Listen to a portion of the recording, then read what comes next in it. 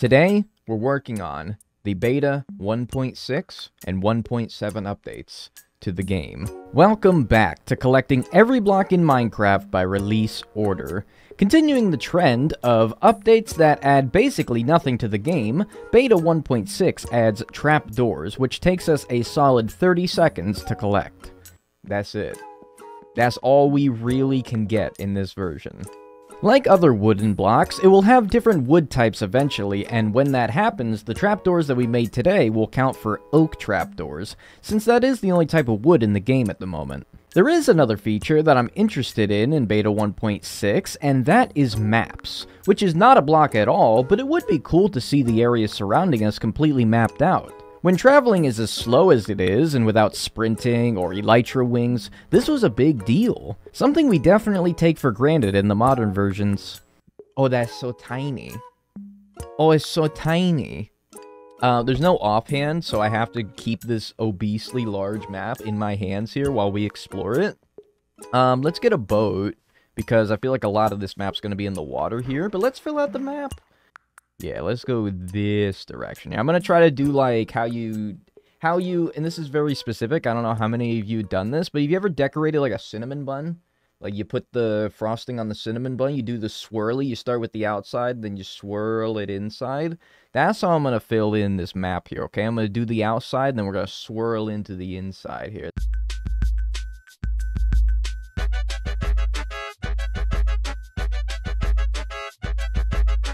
Alright, that is minus this one teeny tiny pixel right there.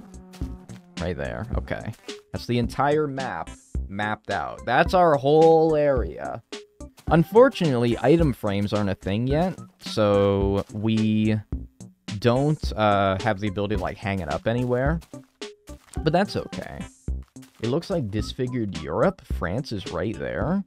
Okay, so like looking up here, that's France right there. And then this is like the Mediterranean. And then like down there, over there's Italy. Spain had like the worst flood in the world. Portugal is gone. Yeah, Portugal has been succumbed to the ocean. RIP Portugal. Despite how close we are to getting to full release, there is still a lot of strange bugs that we're finding. What is, what is this? What's going on here? Is it one like... That's a sapling? That's a sapling? I'm gonna break them? Are they gonna stack? No. Very strange. Cool. Well, that's just beta Minecraft for you. Another non-block that I'm interested in getting is a clock. It's a bit primitive, but carrying a compass, map, and a clock was quite handy before a lot of the luxuries we have now were introduced. Alright. Um, we're on to beta 1.7.3. Beta 1.7.3 adds shears, which will make tall grass, ferns, and dead bushes finally acquirable. They also add pistons and sticky pistons. Beta 1.7 is the final update before the Adventure Update, which revolutionized Minecraft. For many people, myself included, it feels like the final version of old Minecraft. And in this final version, the sticky piston seems to be the block that will take us quite a while to get, considering the fact that I haven't seen a single slime in this entire series, on camera or off. Oh, the cobblestone texture! Okay, I don't know how y'all feel about this. The cobblestone texture is now the new cobblestone texture. Oh, it's... I gotta be honest with you, chat. It's so much nicer. First of all, the big thing that got added in this update was shears. Not a block, but does allow us to acquire blocks. And I think it makes it so that you can get leaves from trees. Indeed, leaves. So there's leaves, but then there's birch leaves, oak leaves, spruce leaves. Like, yeah, okay, so they're all considered leaves, but there are three different types. So I think this is oak, this is spruce, and this is birch. And eventually those will be counted as their respective type of leaf, but for now, they're all just leaves. But we'll put them in there regardless. Shears do allow us to get leaves, but I mistakenly thought that we could get tall grass and ferns in this update as well. Huh. Oh. Okay, I'm mistaken. That will not be until beta 1.8. Now, to explore the deep recesses of my brain to remember how to make pistons. So this is going to be tough. I think it goes like this, this, this, this, this, this, this. Holy shit, he's so good. I haven't made one of those in like literally years. There's no swamps to get slime super easily, so you have to find them underground. Urgh, That's gonna be really annoying. The way that I'll go about getting slimes is to just go underground and dig out an area for slimes to spawn. Slime spawning works in chunks. A chunk is either a slime chunk or not a slime chunk. Chunks themselves are 16 by 16 areas in your world and only about 10% of chunks are slime chunks, and then they only spawn below Y16 in this version as well. All of this is to say that they are really, really rare. But luckily, you can use a tool on Chunkbase where you upload your world and it tells you which chunks are slime chunks, just to make this tedious process a little easier. And if you think that that's cheating, well, then that's fine. You're entitled to that opinion. But I'm gonna do it anyway. As it turns out, we have a slime chunk very close to where my hole is here, so we don't have to go very far away at all. I must have literally, like, dug into a slime chunk if that's the case, man. Oh! My god! Look how much damage my armor just took from fall damage!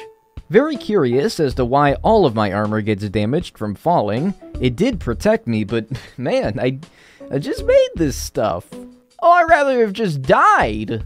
The best way to ensure that slimes spawn where we want them is to make sure that other mobs do not spawn where we don't want them. Do you see all those floating numbers up there? Well, in this version, you could use that to see where mobs are, as every mob has an ID number above its head. We can abuse this feature to find where mobs are spawning and light up those caves.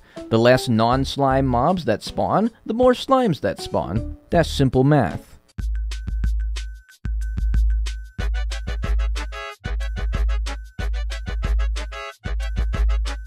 Alright, I've definitely strayed well up...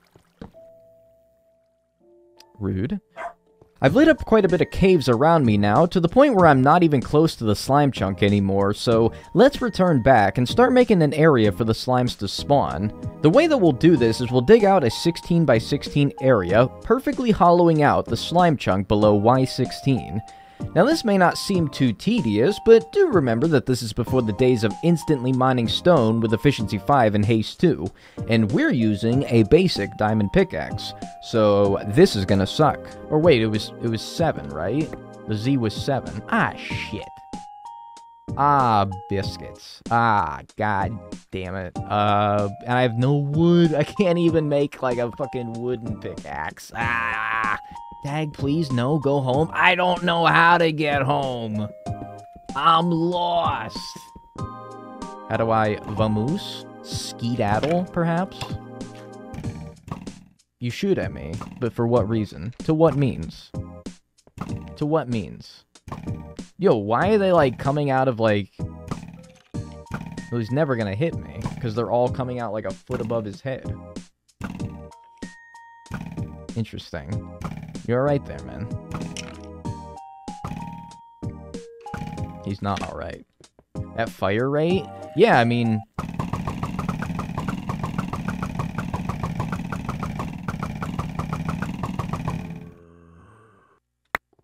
With the outline of the chunk now dug out, it's time to get rid of everything else inside of the border. And this is what's left, a 16 by 16 spawning platform dug perfectly into a slime chunk. Sadly, the work is not done yet. We now have to keep unloading and reloading that chunk to get a slime to spawn, which is easy since I can just walk back and forth down this hallway I dug, but I still am having no luck. Things are spawning elsewhere though, so I don't really get it. Do I have to stay 24 blocks away, or keep doing what I'm doing, where I just keep walking back and forth? It, it's not proving to be very good, it seems.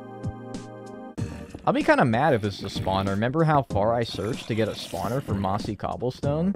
And then only to find out that I had one, like, right here? I'd be kind of mad. I'd be a little bit cheesed off there, I say. This is a nasty little pickle, I say. It is a spawner! No! It is a spawner! I had one so close! Oh, no! Oh my god. What kind of spawn? I mean, this is still good because that means I can make a farm really close by. Oh my... I found a double spawner. It's a double spawner. Oh my god, it's a double spawner. Holy shit. I searched for, what was it? Uh, like over an hour to get a spawner for Mossy Cobblestone. And I had one right here. I can make a heck of a mob farm with this. Well, with that distraction out of the way, back to our slime experiment. I thought that was Herobrine for a second. Well, hold on now. Look at all this. Look at all this. Look at all those guys down there. I don't suppose that's where my slime farm is, surely. Oh, okay, so that is where it is, but that's a spider that I heard. Okay, so... Okay. So, going to the surface and then coming back... Going to the surface and coming back did cause things to spawn? Going to the surface to move far enough away from the platform is annoying, so I'm going to utilize my giant Minecraft brain to come up with a more automatic solution. I can set up a minecart track that loops about 40 blocks away so I can kick back and relax while waiting for slimes to spawn. But while getting that set up, this happened.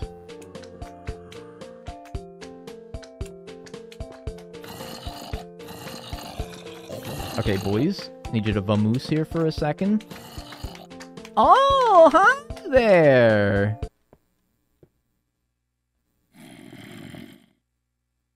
This is an old bug where if you didn't kill the slime by dealing exactly how many hearts it has remaining in damage, it does not split or drop slime balls. Had I known that at the time, I would have been done with today's episode by now. But on the bright side, we do get to finish our sick-ass minecart track. This should work, right? Oh my god, the days of minecarts being silent. Okay. It's... It's working! But holy shit, look at all that stuff up there. This task a grueling one, hope to find some diamonds tonight, night, night, diamonds tonight. Do zombies break doors? No, that's not until well in the future. Hang on. Hmm. Surely. Yeah.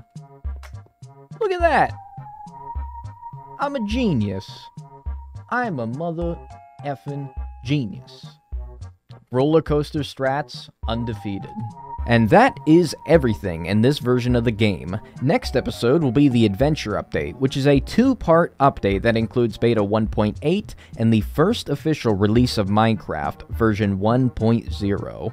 Those updates are going to be huge. But thank you for watching, and join me on Twitch to catch the live versions of these videos. And if you don't have Twitch or prefer YouTube, then go to my second channel where the unedited streams of these videos are uploaded as well. Become a channel member if you want to go the extra mile to support my work, and thank you again for watching, and I will see you next week for the Adventure Update.